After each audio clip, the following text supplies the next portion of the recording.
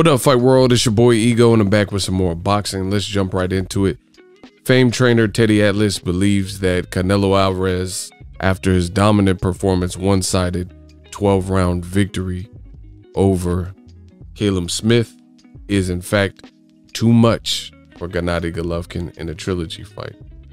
This is what Teddy Atlas said on his verified page.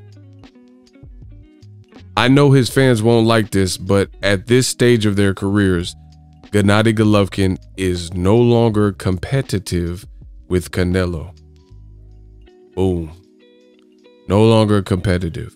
Not now. Dominating performance. Credit to Smith. He didn't travel across that pond to not give his all. Lots of heart. Might be a little difficult for Canelo to take off all that muscle, get back down to middleweight, which his team said they don't plan on doing unless it's maybe an Errol Spence who you know, that would be too much of an ask to expect him to move up to 168 first fight. You know, even though there's great fights like Jermall Charlo and Demetrius Andrade, there are appealing fights there that would have huge that he would have a huge edge in. Canelo Smith, Canelo, dang. Canelo definitely dominated this fight. Brilliant performance. It was one-sided. A lot of people thought that Callum Smith, not me really, you know, I picked Canelo all the way. A lot of people thought Callum Smith had a shot, but you know, I just knew Canelo does well with this style, you know, British fighters. I didn't think Callum Smith had the proper inside game, but you guys heard it from Teddy Atlas by himself. You know, and the man just told you Triple G, he don't even think it'll be competitive. You know, shout out to Canelo and his team, definite consummate professionals. He looked good out there. There's a lot of great fights for him. Berlanga called him out. You know, that's a guy who's kind of on the up and coming, so I don't expect that to necessarily get made right away. But there are ready made fights like David Benavidez, Caleb Plant, Charlo is a great fight, Andre. You know, any of these to me would definitely suffice. And I'm open to any of those particular type of fights. As far as what's next for Canelo, we have to wait and see. He needed to get one out. And, you know, he really wasn't going to come back and face, I, you know, I don't think they had enough time to really, like, it sounded good when they were talking about Caleb Plant, but I, I think the way PBC does business, it would have been cutting it real, real, real close in terms of being able to promote it and stuff like that. So Caleb Plant, he has his own fight with Caleb Truax. He didn't get the Canelo sweepstakes like he thought. So he got his own fight January 30th. I'm going to check that out. 168 is, is definitely popping. As far as the Gennady Golovkin thing, listen, often imitated, never duplicated. There's a lot of boxing narratives that come from this channel, that come from me, come from my mouth. I say things and you you hear a lot of people, and I'm not saying Teddy Atlas did this particularly, but you can tell there's a lot of people that watch the channel in general because my narratives are floating all around boxing. As far as Triple G Canelo 3, I told you I really wasn't interested in that fight. DAZN doesn't know too much about boxing. They seem eager to keep asking Canelo about that fight and to make that fight. I really don't even care to see that. We've already watched 24 rounds of Canelo and Triple G, and Triple G, I thought won the first fight. Canelo made proper adjustments. I thought he won the second fight. But at this point, Triple G, by the time that they fight, Golovkin will be almost 40, you know?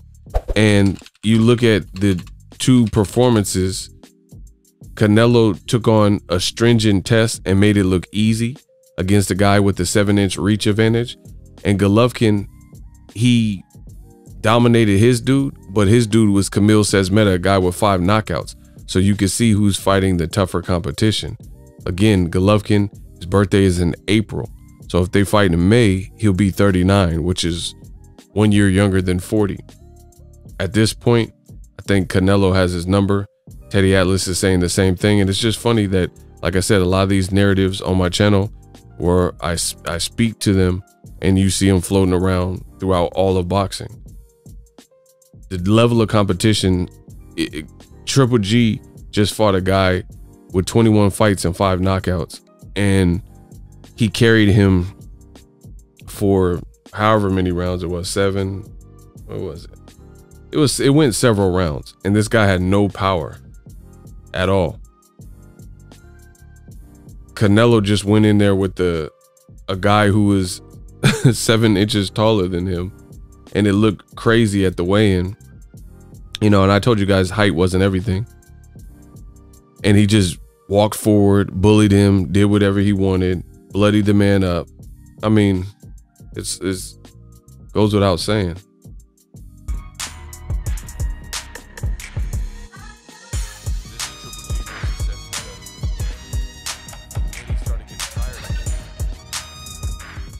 From what I seen, he started getting tired. Canelo went 12 rounds, well conditioned, looks in crazy shape at this weight, made weight, you know what I'm saying? True professional. It's just a masterclass performance. So Teddy Atlas, like I've been telling you, I think he's right because I've been telling you longer than Teddy Atlas posted just that he just posted. The man Canelo, it's his time now. You know, if someone's gonna beat him, I don't see it being Triple G. What is he gonna do at age 39? Canelo has the better defense. Canelo's more skilled. Canelo has now experience at higher weight classes, like 175. He got a knockout, a recorded knockout over Kovalev, FAF. Um, he just beat up on Rocky Fielding at 168, stopped him, and now he just beat up on. He's like picking on this Smith family for whatever reason, but he just beat up two Smiths Liam Smith, and now Callum Smith, who was a champion and won the World Boxing Super Series. And he was way bigger than Golovkin. He was supposed to be real strong. I mean, what is Golovkin going to do? Golovkin, to me, would need a one shot Deontay Wilder type of power to, to beat Callum Smith. Granted, chin he showed in this Callum Smith fight. You know, it's not like Callum Smith really threw that many punches.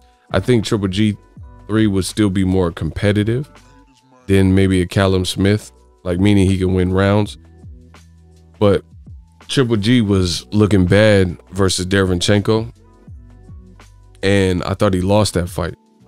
And that body shots were tearing him up. So Canelo, we know we've seen it in this fight. Great jab, very mature performance, very educated performance.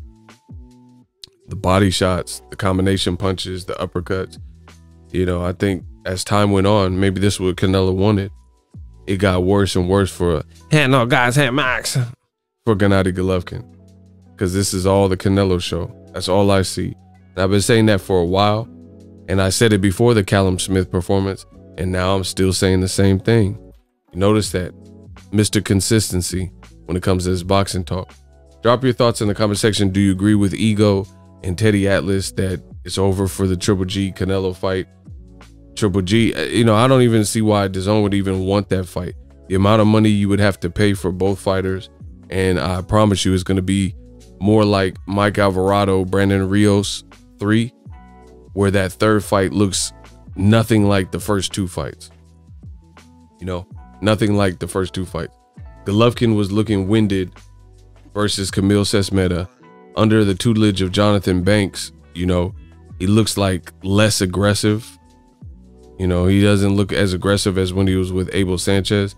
And he last fought Canelo in 2018, and it's about to be 2021.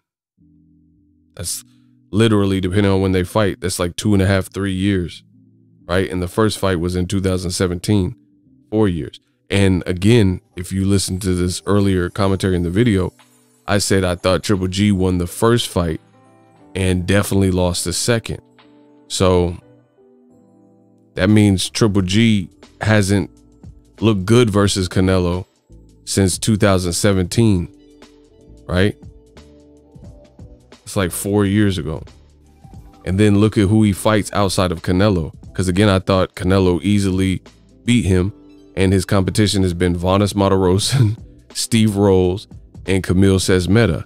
And I have one more that I skipped, which was a guy he ducked and avoided, Sergey Derevyanchenko, and we know what happened in that fight.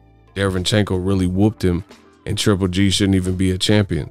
So Triple G is only looking good and stopping Kamil Szeremeta, Steve Rolls, and Vanes Martirosyan because he didn't stop Sergey Derevyanchenko, who was a shorter middleweight, and he really.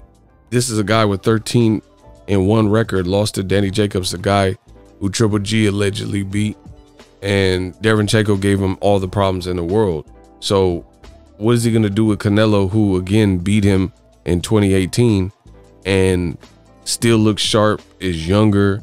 Him and his trainer got a good thing going. He looks motivated. He's a free agent, so he's out of his contract. He's making money. He just comes off of Callum Smith sensational perform. I mean, what what who wants to see this? Like a Triple G three outside of DAZN. What what is Triple G? I need to know from somebody. What do you think Triple G is supposed to be doing out there when Canelo out here looking saucy? You know, jabbing and all types of look defense. What is Triple G gonna do? You know, and I don't think, I don't think he's a one punch Deontay Wilder type of person. You've seen a tough Kamil Szeremeta with no knockout power, and he was in there hanging out. He was in there hanging with Canelo. I mean, hanging with Triple G for several rounds. Canelo has a chin, better defense, sharper. I mean, just come on. Is I ain't even got to say no more. Let me know what you guys think. Drop your thoughts in the comment section. We work.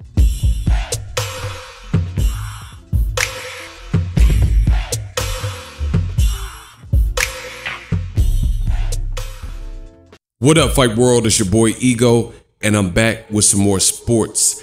Get unlimited access to premium content with an ESPN Plus subscription. ESPN Plus offers a variety of content, including specials, behind the scenes, docu-series like Bruce Lee's Be Water, and much more. With an ESPN Plus subscription, you get access to a ton of classic archive fights and replays from boxing and the UFC. Big names like, Hi, I'm Mike Tyson. Come and watch my fight. Floyd Mayweather, easy work. I'm rich. And Manny Pacquiao. Uh, yes, it's up to my promoter. Just to name a few. If that's not enough, you could get the ESPN bundle, which includes ESPN Plus, Hulu, and Disney Plus. All three apps, one low price. You don't want to miss out. Make sure you guys click that link in the description box of all of my videos. Ego signing off. So if you enjoyed this video and want more content like this on the channel, you can show your appreciation by going to the PayPal donate button or the YouTube support button, and you can donate any amount that you feel is equivalent to the value of this video. Much more to come. Thank you guys for your support. Boxing Ego, the future of boxing.